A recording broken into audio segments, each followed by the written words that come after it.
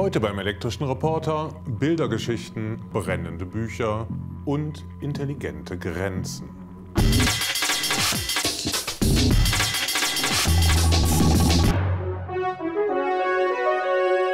Elektrischer Reporter. Ich habe sie erwartet. Anders als etwa in Belgien oder Frankreich galten Comics hierzulande lange als Schund und nicht als Kulturgenre. Mittlerweile hat sich im Netz eine neue Generation Comicschaffender gebildet, die sich um solcherlei Wertungen überhaupt nicht mehr schert, wie unser erster Beitrag zeigt. Comics aus Deutschland gelten nicht gerade als Exportschlager. Umso erstaunlicher, dass hinter dem Fantasy-Epos The Warmworld Saga, das weltweit in 25 Sprachen übersetzt wurde, der Autor und Zeichner Daniel Lieske aus dem Münsterland steckt. Mehr als zwei Millionen Menschen haben seine Graphic Novel bereits gelesen. Online. Die Warmworld Saga ist eigentlich als Hobbyprojekt entstanden. Das habe ich neben der Arbeit gemacht, um so ein bisschen ja, meine kreativen Wunschträume auszuleben ähm, und das Ganze ist dann etwas außer Kontrolle geraten und ich mache es jetzt seit knapp zwei Jahren Vollzeit eigentlich. Auf der Wormhole-Website gibt es weder Bezahlschranken noch Werbung. Vollkommen ungestört kann sich der Leser durch alle Kapitel der komplexen Geschichte scrollen. Geld verdient Daniel Lieske über einen Webshop mit Fanartikeln, mit kostenpflichtigen Apps für Smartphones und Tablets und mit einer Buchversion. Lieskes Erfolgsgeheimnis? Er hört seinen Fans zu und er nimmt ihre Meinung ernst.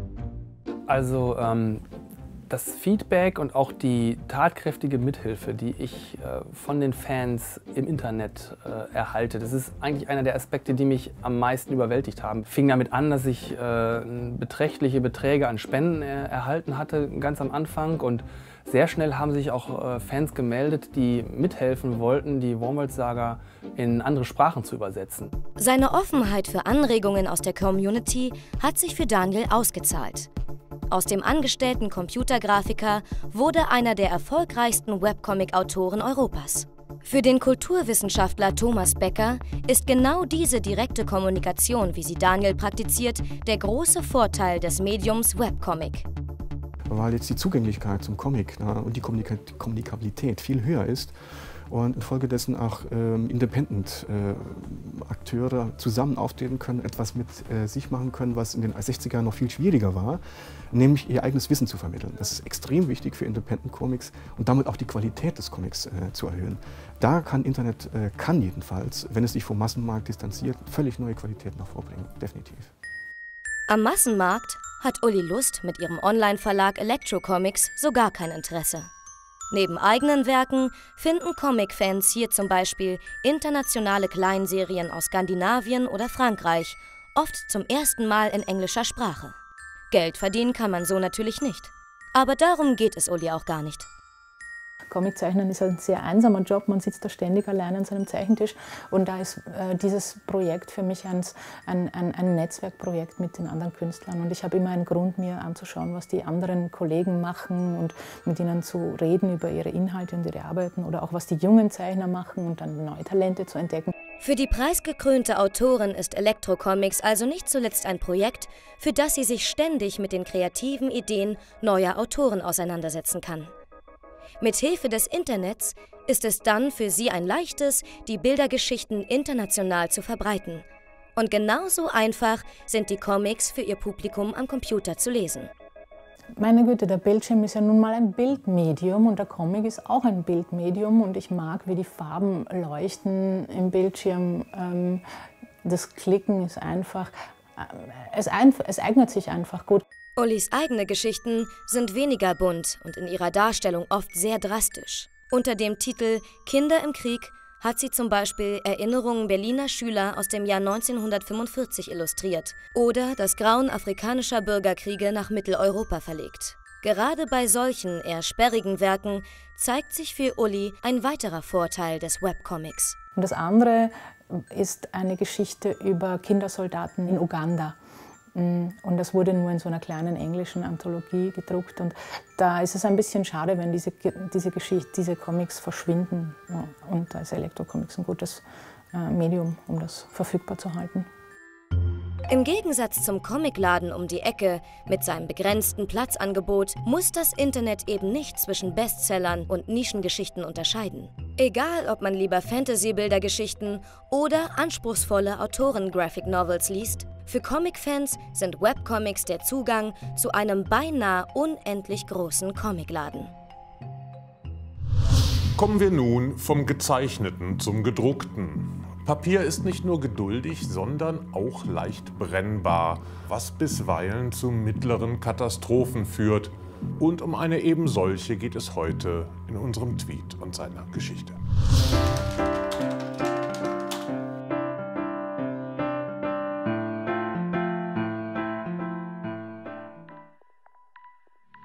Mein Name ist Jörg Sundermeier, ich bin 43 Jahre alt, ich bin Journalist und leite den Verbrecherverlag in Berlin. Und wir haben eine Verlagsauslieferung, das ist ein Dienstleister, der für uns eben die Bücher zu den Kunden bringt. In einer Halle dieses Dienstleisters gab es einen sehr großen Brand. Bei diesem Brand sind mindestens 25.000 unserer Bücher verbrannt, ähm, höchstens 40.000. Die Polizei hat die Brandursache noch nicht endgültig festgestellt. Sie geht davon aus, dass es ein technischer Defekt war, möchte aber Brandstiftung auch nicht endgültig ausschließen. Es gibt eine Versicherung. Von dieser Versicherungssumme kann man aber einige der Bücher nicht nachdrucken. Einige werde ich auch nicht nachdrucken. Es entscheidet sich nach dem Bedarf. Wir versuchen immer den Bedarf zu ermessen, den es für ein Buch noch gibt. Dennoch ist es nicht schön, Autorinnen und Autoren anrufen zu müssen und sagen zu müssen, das und das Buch ist nicht mehr lieferbar von dir, denn es ist komplett verbrannt. An allen Büchern oder an den allermeisten Büchern ähm, klebt ja nun mal auch Herzblut und das ist äh, in langer Zeit entstanden und das wird auch gar nicht in der Weise angemessen bezahlt. Also dass dann diese Bücher nicht mehr vorhanden sind, das ist schon wirklich tragisch, das kann man gar nicht anders formulieren. Wir sind mit einem blauen Auge davongekommen, irgendwann vergeht ein blaues Auge und es ist viel schlimmer letztendlich für die Autorinnen und Autoren als für uns. Autoren haben sich nicht abgewandt von unserem Verlag, deswegen, Sie wissen ja auch, dass das eben ein, ein, ein schlimmer, schrecklicher Zufall ist. Wir haben gesagt, E-Books machen wir in jedem Fall. Das hat viele Autorinnen und Autoren sehr beruhigt. Ich finde E-Books eine gute Entwicklung. Es ist so, E-Books können auf jeden Fall auch dicke Schmöker sein und das funktioniert auch. Aber gleichzeitig hat ein Lesen, Lesegerät noch nicht diese wunderbare Haptik von einem Leinenbuch. Ich glaube, das existiert nebeneinander. Also was mich gerade sehr interessiert und was sicherlich das ist, was die Zukunft sein wird, das sind Möglichkeiten, das E-Book nochmal zu zerlegen.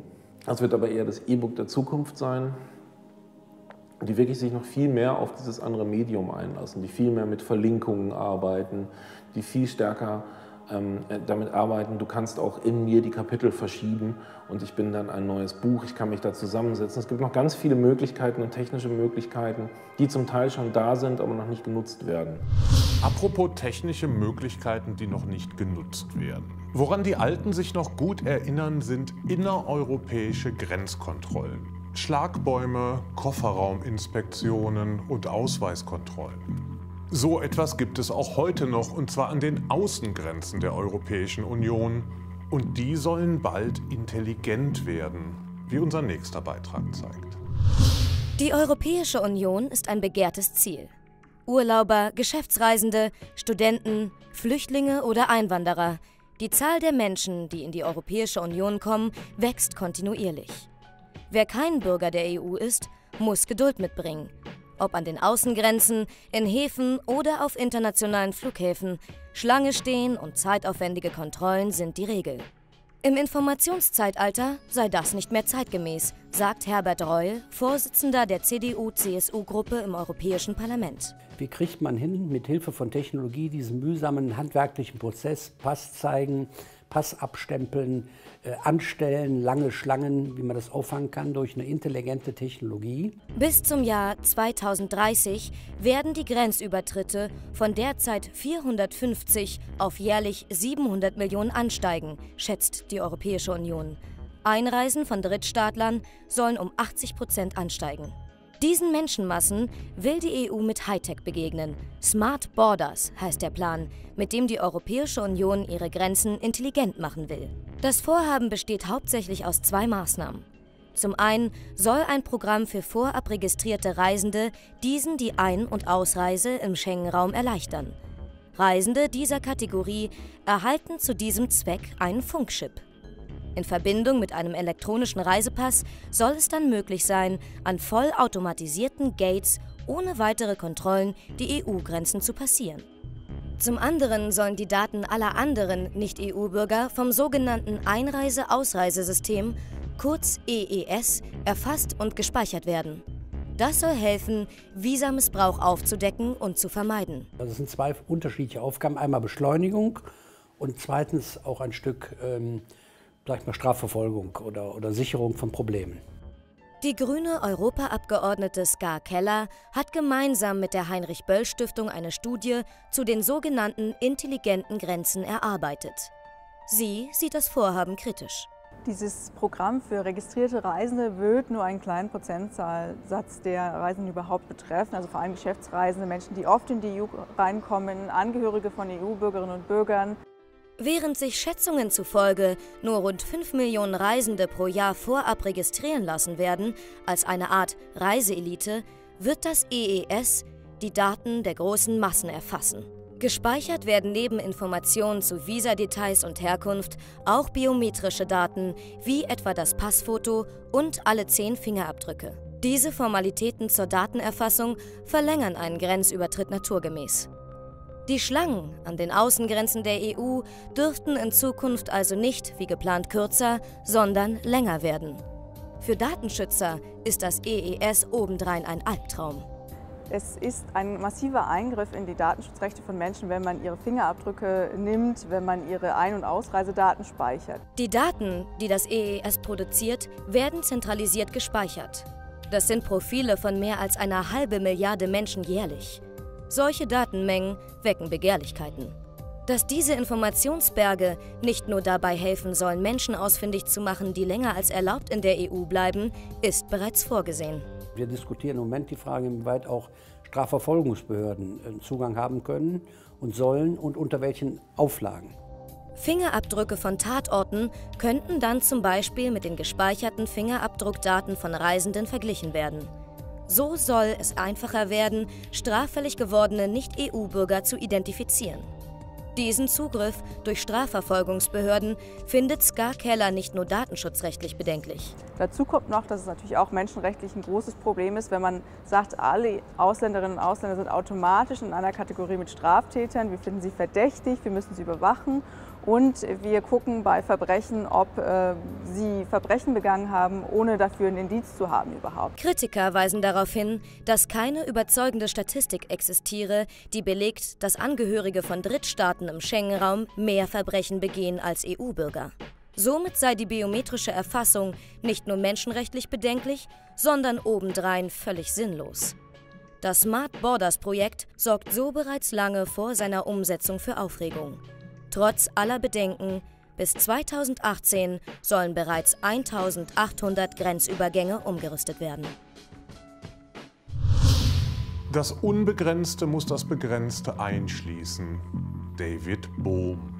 In diesem Sinne wünsche ich Ihnen eine inspirierte Zeit. Bleiben Sie uns gewogen und schalten Sie auch das nächste Mal wieder ein. Bis dahin bleibe ich Ihr elektrischer Reporter.